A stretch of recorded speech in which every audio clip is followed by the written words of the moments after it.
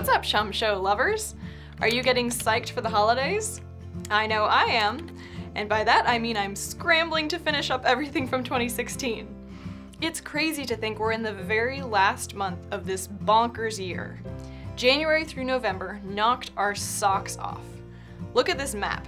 For every state in the US, except Louisiana, these first 11 months of 2016 were among the top 5 hottest. And Louisiana only had its sixth hottest year. Dang! Seven states had their number one hottest year to date. One of those states was Alaska, which ran 6.2 degrees above average.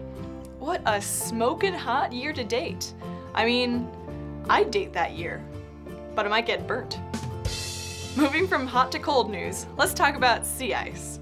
At this time of the year, sea ice in the Arctic is growing and sea ice in the Antarctic is melting. First, let's take a look at Arctic sea ice. This is what the pattern looks like, this curve. You can see that we're tracking way below average. Let's zoom in on October numbers. In less than 40 years, look how much Santa's neighborhood has changed. In the southern hemisphere, the numbers are very different.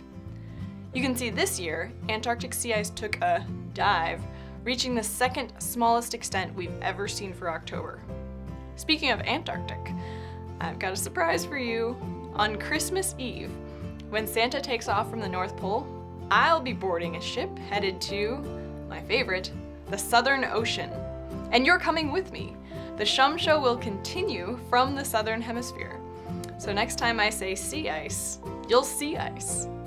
Next week, I'll tell you more about the trip and give you some details about how you can keep in touch with me while I'm out there.